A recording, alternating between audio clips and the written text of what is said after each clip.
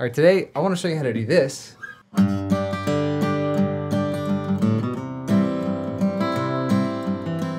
But we're gonna do it on the mandolin.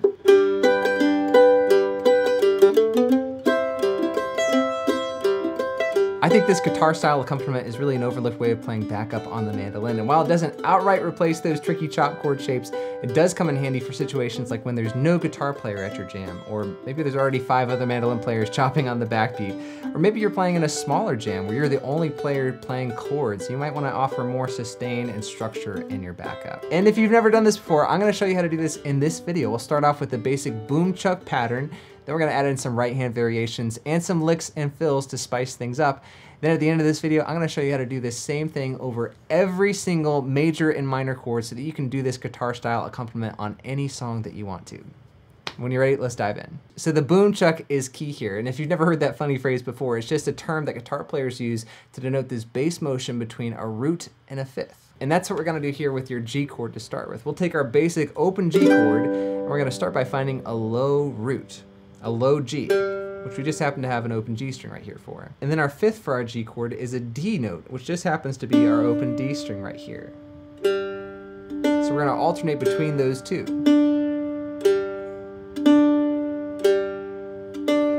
So that's the boom of the boom chuck, right? We're playing the root on the first beat of the measure and the fifth on the third beat of the measure. But for the chuck, we're just gonna play our higher strings on our G chord on the second and the fourth beats.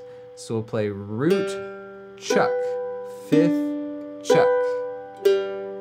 Just like that.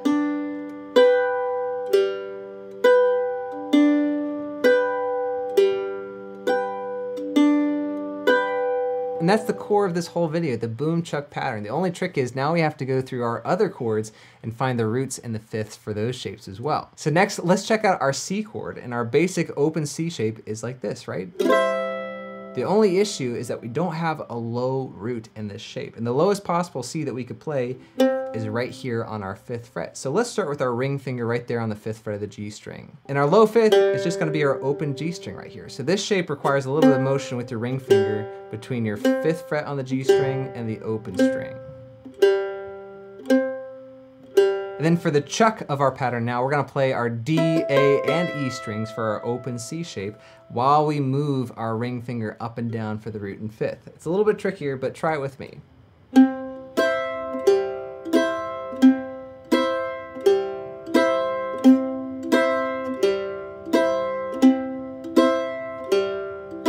All right, one more real quick. Here is our D major boom chuck pattern. This one's a little bit easier. We don't have to move our left hand quite as much.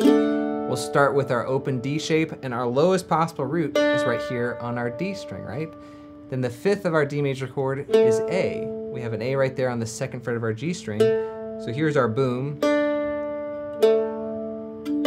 we'll just add in the chuck on the higher strings.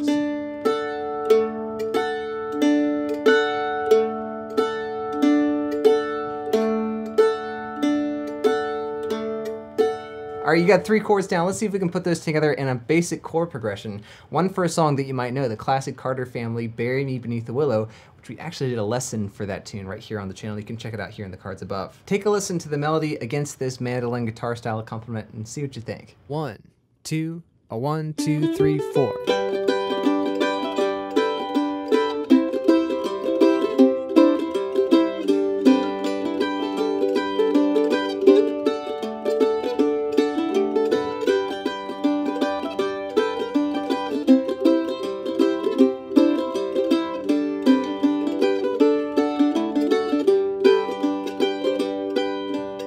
By the way, there's kind of like an inordinate amount of handouts to go with this video. If you want your own personal copies of these PDFs, you can grab them over on my Patreon at the link in the cards above, but you'll see all the stuff on screen as we go through this video. And we'll start off by checking out this chord progression for Bury Me Beneath the Willow. So just with that basic boom chuck pattern, we start off with two measures of G here. Then quickly transition to our C shape. Back to G, then D for two measures. Back to G. Then C.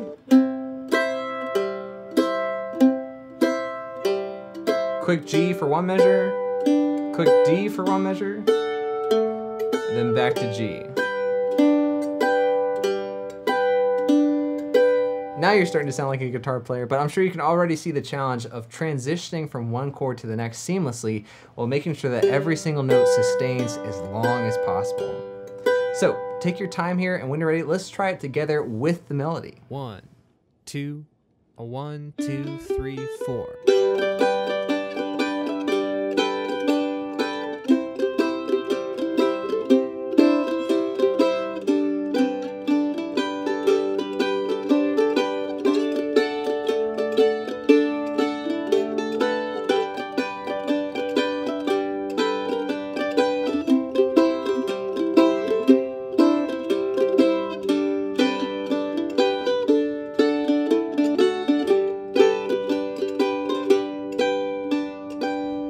Right, now that you have this basic boom chuck pattern down, we're gonna add in some different right hand patterns to really spice things up.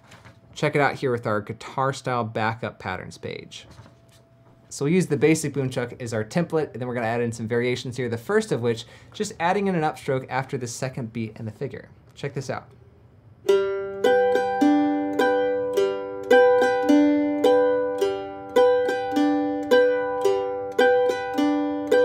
Next, let's see if we can add the upstroke after the fourth beat instead with this variation.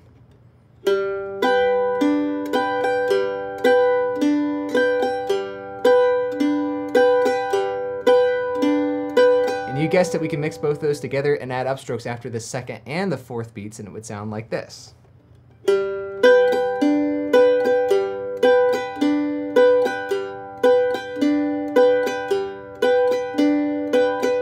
Next one here is a little bit different. Sometimes you hear guitar players play single notes, almost cross-picking across the chord shape.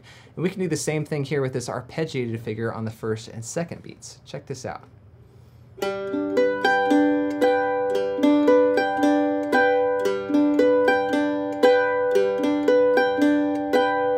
We can do a similar thing on the third and fourth beats of the measure like this.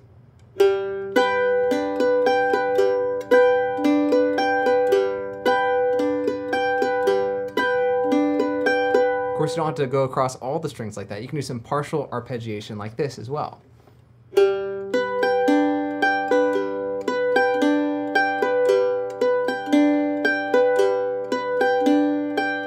you want to get real fancy, you can play all eighth notes and it would sound like this.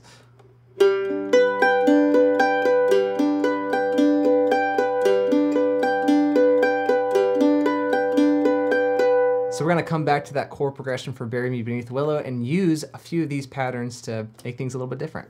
Check it out. One, two, a one, two, three, four.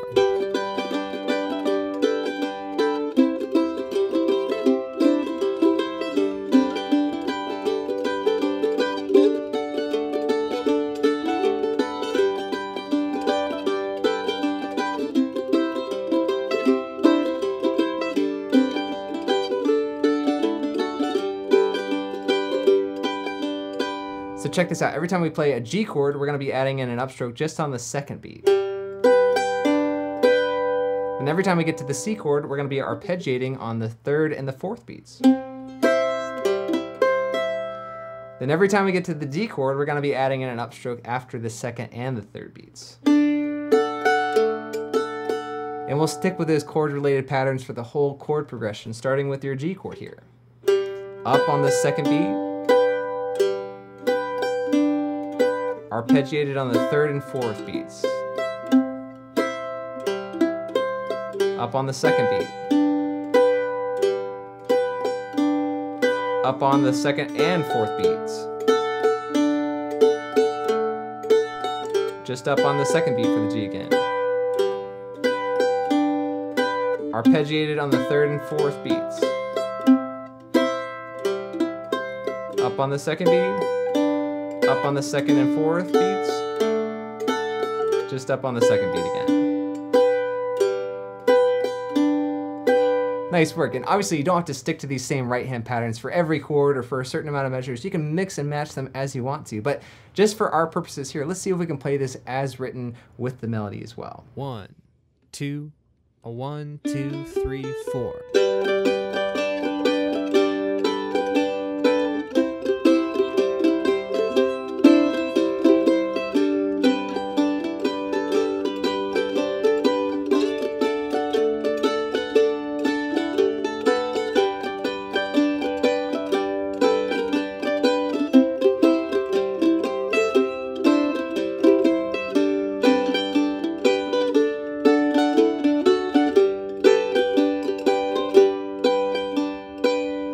Right, and our last step here is to add in some melodic fills to connect some of the chords together. You might hear some guitar players like Doc Watson or Billy Strings do this, and we're definitely taking a page out of their book for this version of Bury Me Beneath the Willow here. One, two, a one, two, three, four.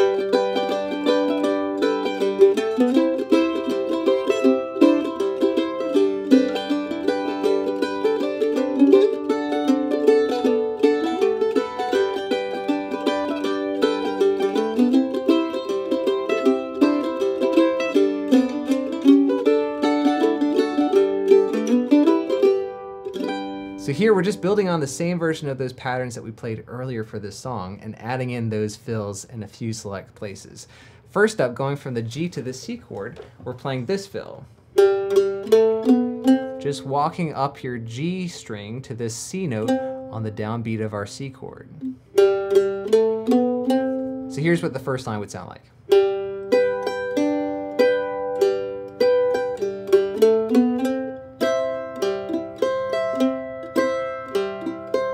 Similar idea with the next line, we're playing a small chromatic line leading to the D string on the downbeat of our D chord, right? And then when we get to the D chord, we're playing kind of an interesting descending line.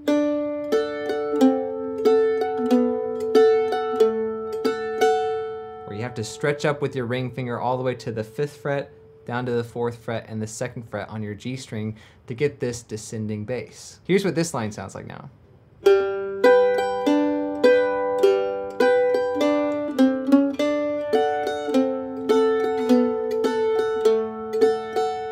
The next line is actually the same as the first line, so you got this.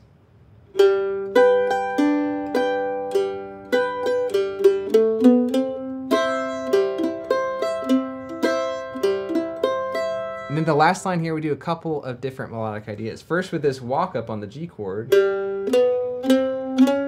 landing on your open D string at the beginning of the D chord. And then at the end, when we get back to the G chord, we're playing a classic Lester Flatt G run.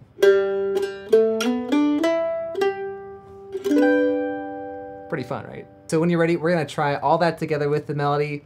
Good luck. One, two, one, two, three, four.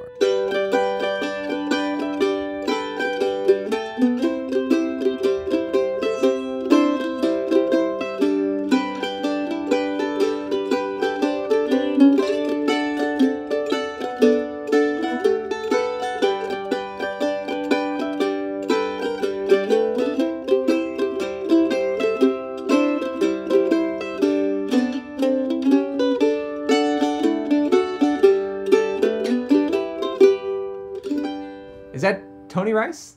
No, is Billy Billy Strings? No, that was you. And now it is up to you to take this knowledge and apply it to other songs, different chord progressions, and different keys.